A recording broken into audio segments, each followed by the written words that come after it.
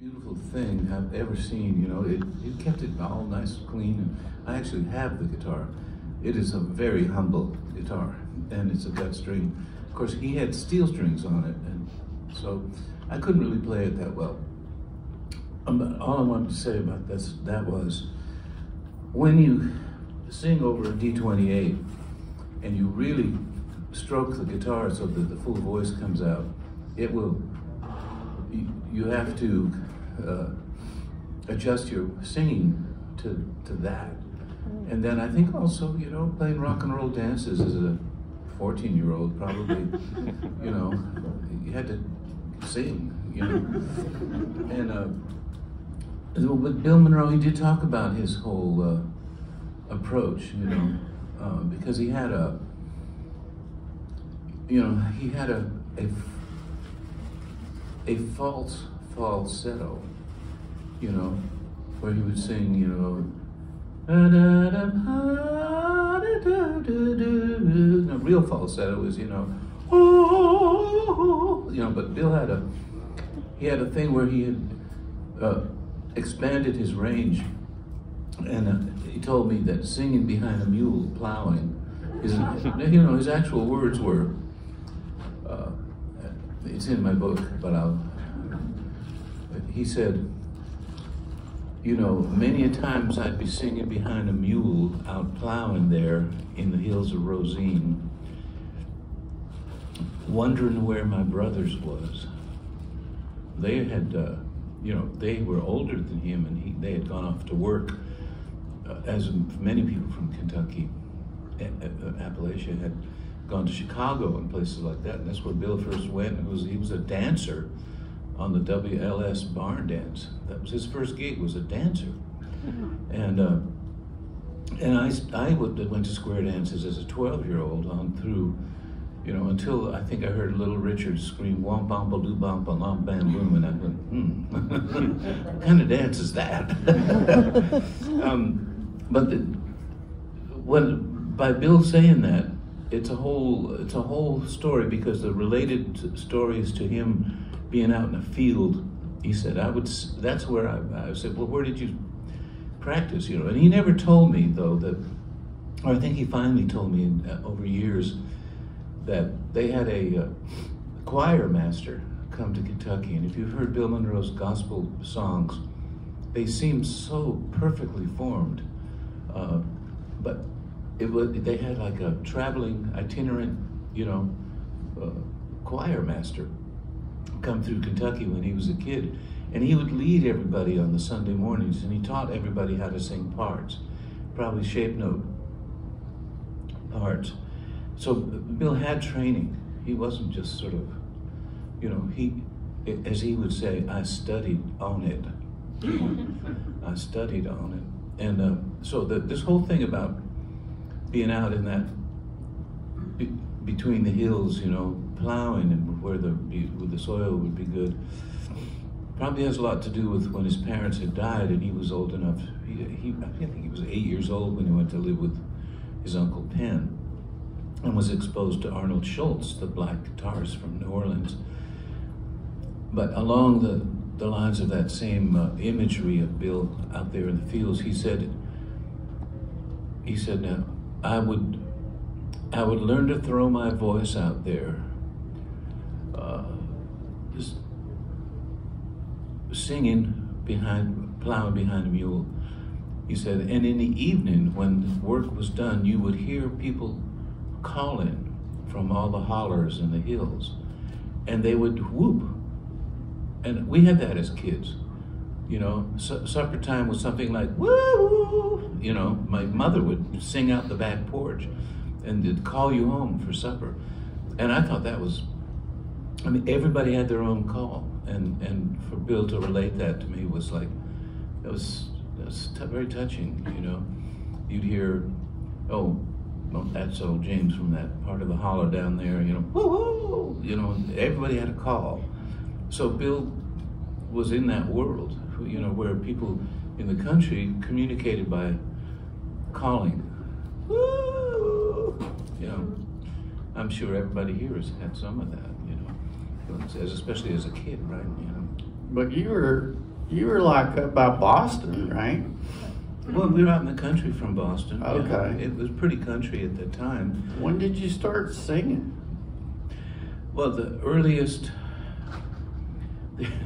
there were two things. Uh, one is the Christmas caroling, and and we went to church. You know, I did anyway. My brothers, by then, my parents had sort of they'd gotten all the religion they needed, I guess. But um, I, I was brought up. It, I was the eldest, so I got all the everything was tried out on me. Put it that way. You're taking Holy Communion. What? You're being baptized, huh? so we sang in church, but I wasn't in a church choir. Uh, but I do remember how, man, everybody knows these songs. You know, everybody had a hymnal. And, uh, but really, it was the Christmas caroling uh, in those days. And strangely enough, this year especially, Massachusetts had a lot of snow just in the years of, you know, in the weather patterns of my youth, there was a lot of snow. And it was a big deal for us kids to go out and tunnel and everything. And, and when you're small, you know, the snow's up to your chest, you know. And so, uh, so Christmas caroling was always very special. In the earliest times that where the neighbors would come by and sing, you know, right up on the porch. Uh, I would be in my pajamas, you know, and I would be hanging back and listening, you know. And then you, you get to be a certain age and you get, get to go Christmas caroling. And so all these songs kind of seep into your your mind. You know, my, my aunt was a, you know, a, what is it? Angels we have heard on high sweetly singing o'er the plains. And she would lead, uh, and the da, da, da, and hit the chorus, of course. If you didn't know the verses, boy, you could sing the choruses.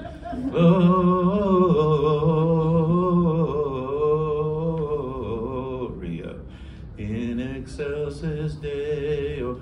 Then my aunt, which had hit the high soprano part,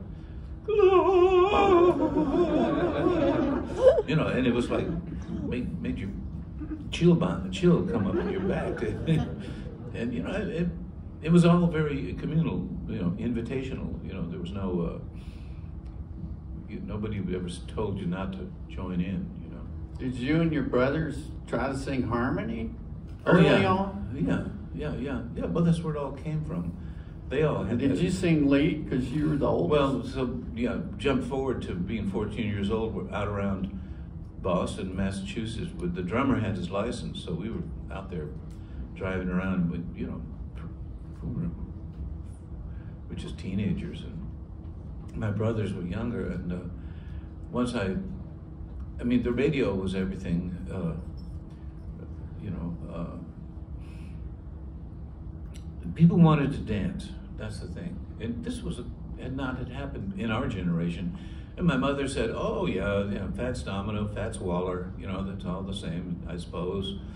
You know, but then she accused me of trying to imitate Elvis Presley. Says, "You're sticking your lips out." no, I'm not.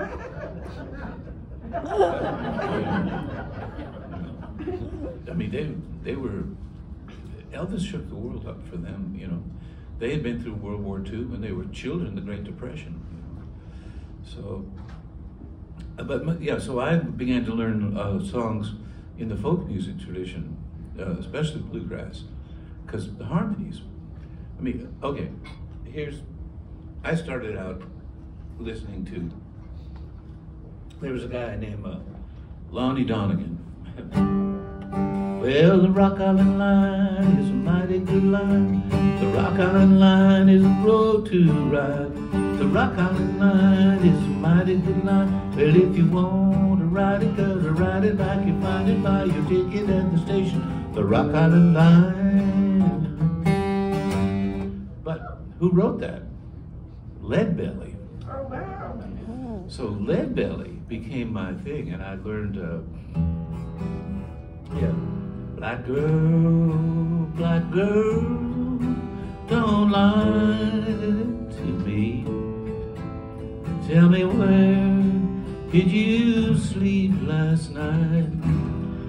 So then I heard, you know, the longest train I ever saw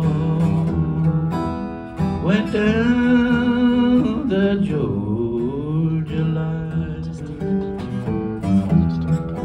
Same song, and uh, but that was Bill Monroe's version. And the first record I heard of Bill Monroe, Clyde Moody was playing guitar. He was playing.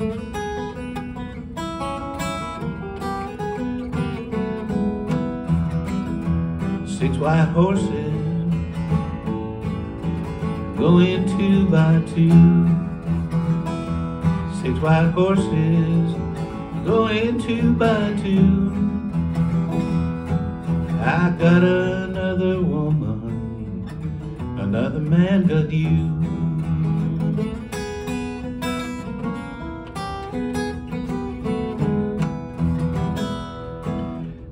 That's, I sort of absorbed the blues, but I didn't, it's weird. Now, this is not a racial thing, but I just didn't feel culturally, I felt it was way beyond me to really be a blues man. But I met Sonny Terry and Brownie McGhee, and I learned from uh, Brownie. And the other person I learned from was Josh White. You know, uh, I got the key to the highway. Well, that's where I'm bound. I got to leave here running. 'cause walking is much too slow. Right, the same lick wonderful E chord uh, on this beautiful Thompson guitar, by the way. Can I have it? um, I think so. Man, Preston. uh, Preston has his legacy is, is wonderful. They're doing right by him over at Thompson, I'll tell you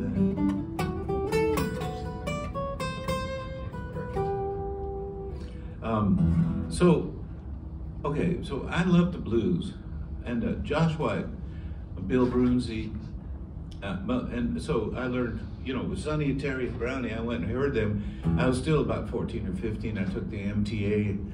My mother dropped me off at the Dedham MTA station. I'd go into Boston, and I'd go hear music at the coffee houses. And, and you didn't, drinking age was 21 in Massachusetts. I couldn't go to bars, but if I carried my guitar, even just the case, I could pretty much walk into any coffee house and never pay cover. That's you know, yeah. You, oh, you can play, yeah. It was a very cool time, really, and, and uh, I kind of wish that was still available.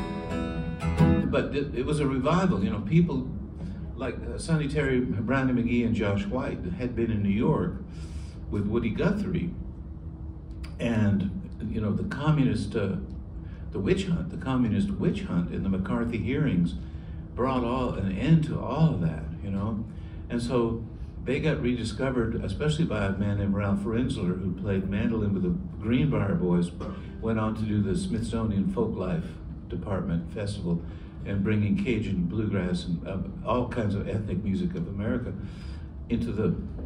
Uh, they had its own presentation, including the arts and crafts, you know, blankets and different things that people make pottery.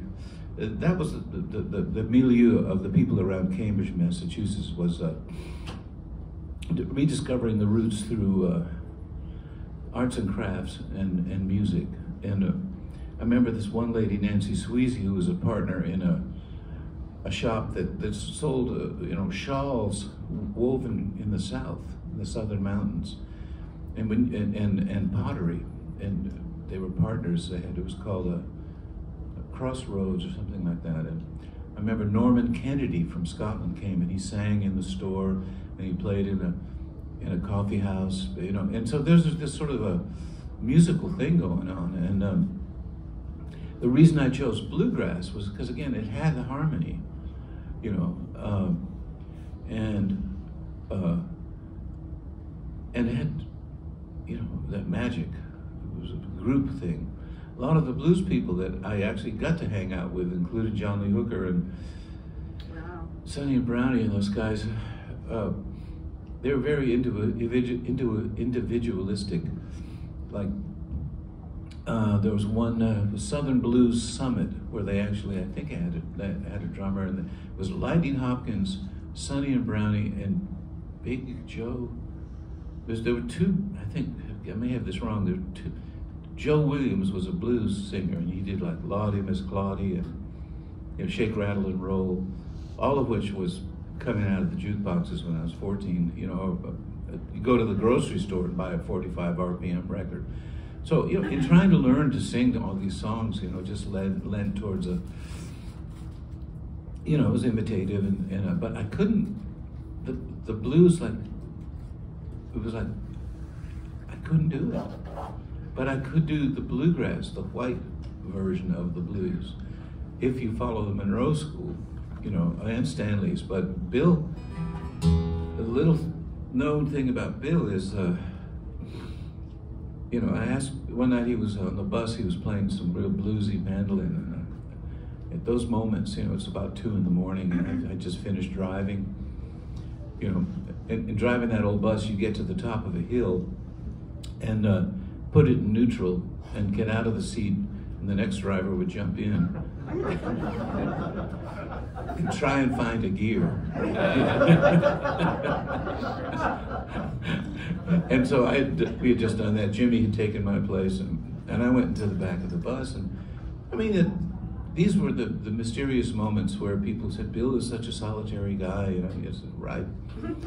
You know, so I would be very cool just like listen and listen and listen to what he was doing, and he'd be just, you know, you know, he'd be like.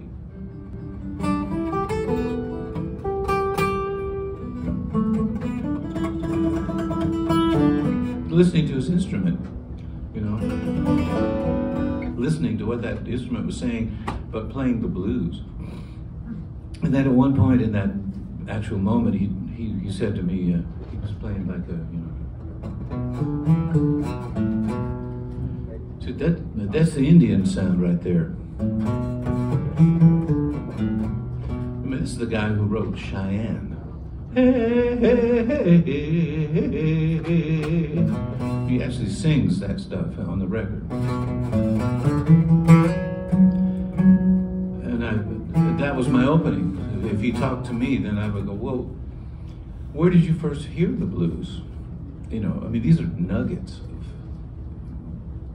mentorship, really. He said, Well, now, um, it just surprised me what he said. He said, When Lester and Earl came with me, they were so green, I took them down to New Orleans. And I said, Oh, really? I'd never heard that. And uh, I, he never spoke about it publicly, and I don't know why, but. Uh, I said, well, what, what could, kind of music could you hear down there? He said, well, a man could find any kind of music down there. I oh, okay. yeah. I mean, Bill, he was an adventurer. And, and I said, well, yeah, he said, flat, uh, Lester and Earl were the country boys from Tennessee, in, or North Carolina, in Earl's case.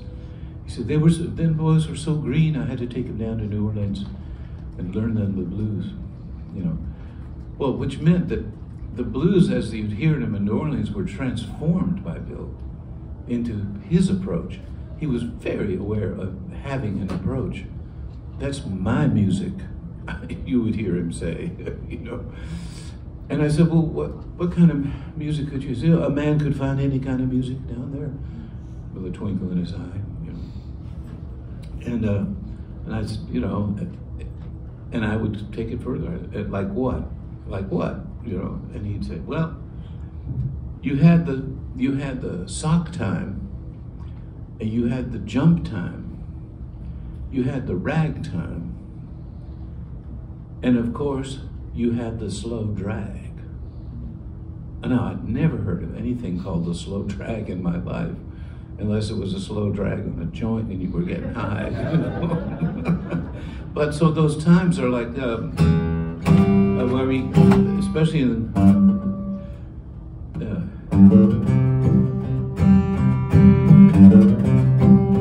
that would be somewhere between sock time and well, uh, jump time, but sock time would, would be even more, you know.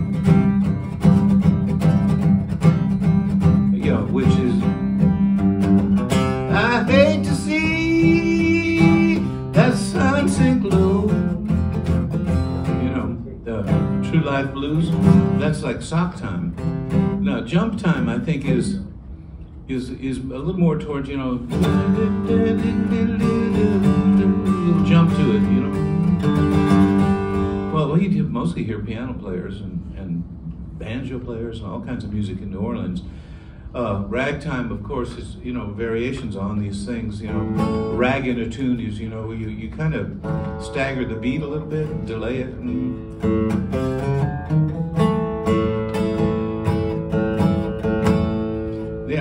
this is a lick that Bill taught me. The original Mule Skinner lick. Yeah, I don't use a flat pick much anymore, but you play with my fingers as much as possible. But, uh, I was loaned this beautiful piece of turquoise, uh, tortoise? Yeah. Tortoise. Uh, I remember Tony Rice looking at one of my picks. He goes, oh, "That's all right. That's a fine piece of meat." so, so here's the the real. This is what Bill taught me. This is the mule skinner.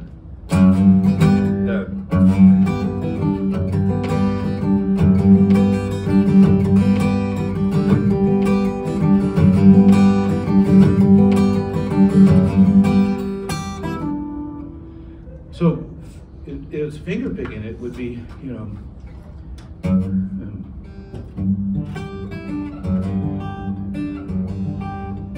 Much softer, but.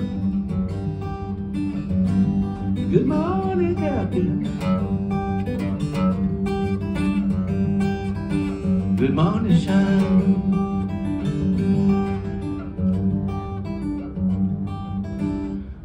And that kind of is sort of lost now in bluegrass. That where each tune would have a signature. Uh, so that would be the jump time, I, I, think. And I think it was Arnold Schultz that probably did the finger picking that, that got Bill into the articulating the notes that way.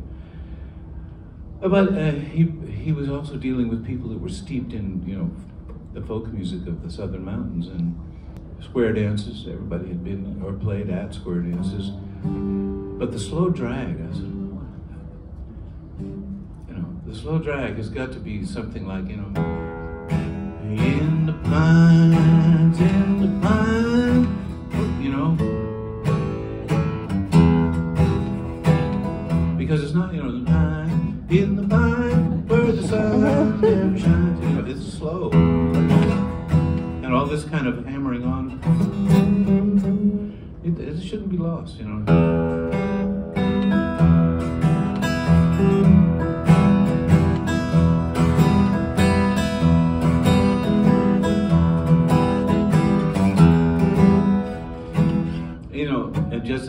Aside to that, you know, this lick, basically, it's this.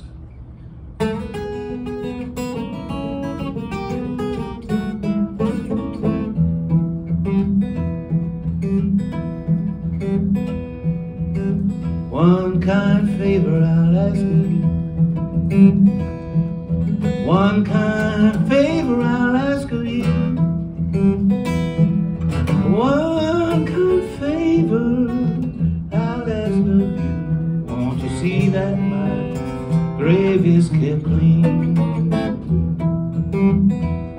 That's where Six White Horses came from.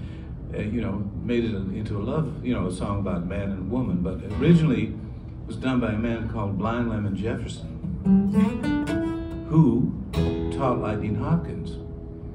So suddenly I had made the full circle. This was only a few years ago that I actually found it on the internet. I just, where does that lick come from? Because everybody plays a version of it.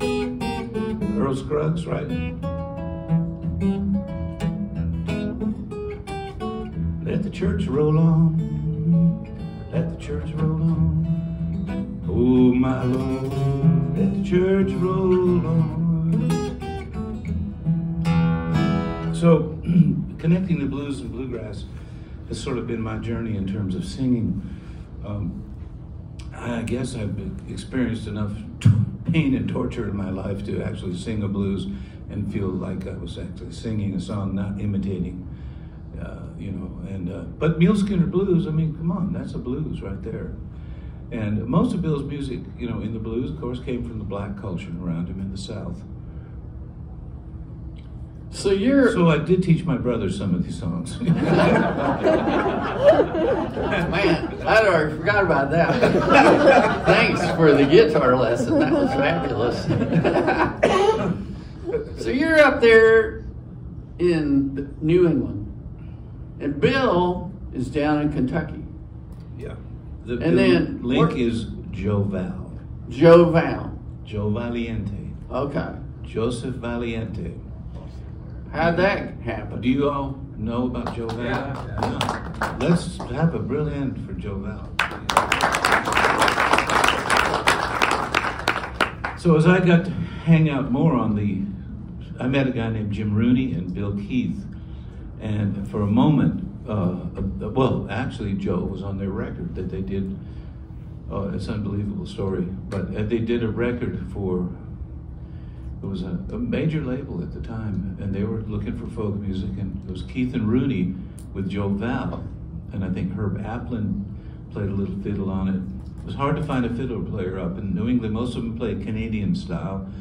Uh, the bluegrass longbow, uh, you know, where it's dead, and did. you know, that's a transition. And uh, when people, most fiddle players could make it into that, but uh, there were a lot of French Canadian fiddlers in Massachusetts that, you know, they played French Canadian music, and that was, that's what they did, and they were fabulous. And mandolin, uh, so but, okay, the producer of that Keith and Rooney and Joe Val record was a man named Paul Rothchild. Now, Paul Rothchild went to the Bahamas with Earth Operas, my David Grisman and my first band. Peter Siegel and Paul Rothchild went to the Caribbean and found a guy named Joseph Spence. So now Joseph is, you know, he's a whole other thing in, in this like really rhythmic guitar playing, you know. Um, Adam's